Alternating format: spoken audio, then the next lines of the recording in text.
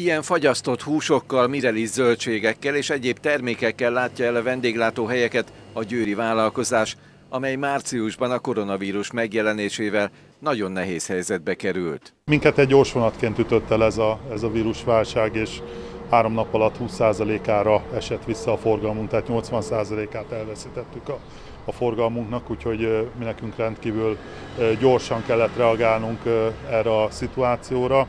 Nagyon hamar meg is születtek a válságintézkedések, és sikerült gyakorlatilag stabilizálni úgy a céget, hogy meg tudtam tartani a munkavállalók 80%-át státuszban, úgyhogy a felét, a 80% felét dolgoztattam, a másik felét pedig otthon egy ilyen teleltető szerződéssel gyakorlatilag fenntartottam. A fagyasztott áruk szavatossága hosszabb, mint a friss termékeké, ennek köszönhető, hogy a nagy mennyiségű készletek nem mentek tönkre. Hála Istennek az a céges szabály, hogy fél évnél hamarabb lejáró terméket nem vehet át a raktár.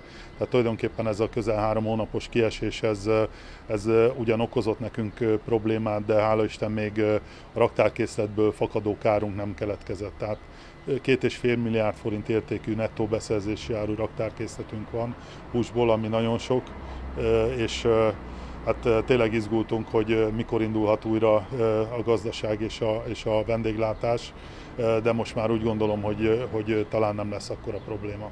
Az évente 20 milliárd forint forgalmat lebonyolító cég több mint 6000 étteremnek a rendszeres beszállítója.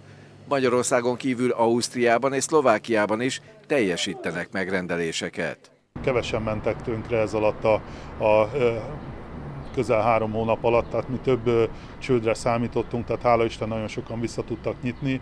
A visszanyitási tapasztalatok nagyon vegyesek, tehát a, a, a vendégeknek a bizalma még nem állt helyre teljesen.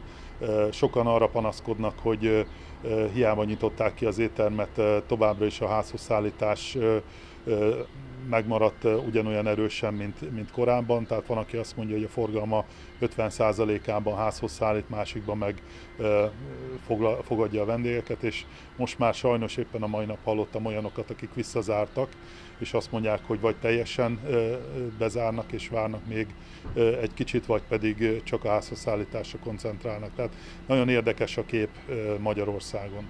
Ausztriában is egyébként ugyanazt lehet tapasztalni, mint hogy ugye a Matuszod Ausztriába is szállít, meg Szlovákiába is, meg Romániába is. A vállalkozás június 1-től teljes kapacitással dolgozik majd, és ismét az összes alkalmazottját foglalkoztatja, hogy ki tudja szolgálni az újra nyitó éttermeket.